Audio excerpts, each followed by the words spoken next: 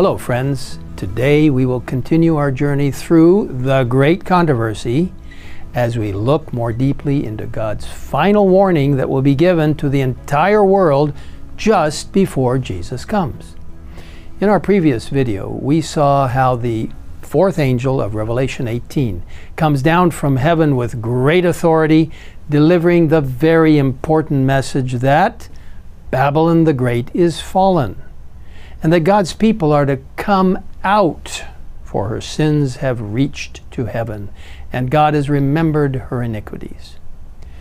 You see, the book of Revelation is filled with symbols, and as we saw earlier, Babylon represents a confused and fallen system of worship that tramples on the law of God.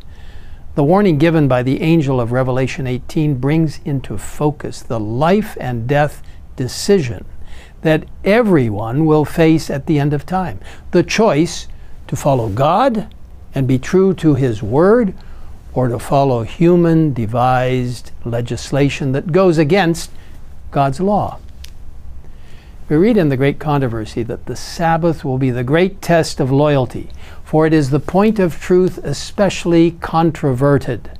When the final test shall be brought to bear upon men, then the line of distinction will be drawn between those who serve God and those who serve Him not.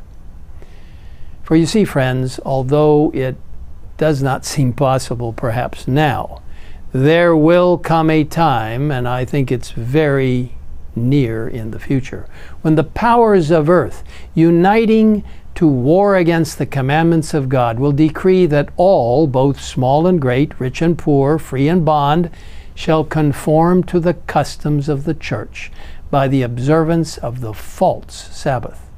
All who refuse compliance will be visited with civil penalties, and it will finally be declared that they are deserving of death. Before this happens, however, everyone will clearly understand what the issues are and will have the opportunity to choose for themselves whether to follow God's law or human devised legislation that goes against the law of God. Those who accept the sign of submission to earthly powers will receive the mark of the beast, while the others, choosing the token of allegiance to divine authority, receive the seal of God. During this time, the message of the third angel of Revelation 14 will be powerfully delivered worldwide. God will work through humble instruments, leading the minds of those who consecrate themselves to His service. Now, while some may argue all that is needed to win people to Christ is the example of a pure Christian life, at this time it is important that people hear the direct Word of God. Those who deliver this message will be filled with the Holy Spirit, and God will give them the right words to say. We're told that thousands upon thousands will listen who have never heard words like these. In amazement, they hear the testimony that Babylon is the church, fallen because of her errors and sins, because of her rejection of the truth sent to her from heaven. And as the eyes of the people are opened despite opposition from the established church leaders, many will take their stand for God and His truth. On the other hand, there will be those who have known God's Word, but in the end will decide to take their stand with the world. We are given this warning in the great controversy. As the storm approaches, a large class who have professed faith in the third angel's message, but have not been sanctified through obedience to the truth, abandon their position and join the ranks of the opposition.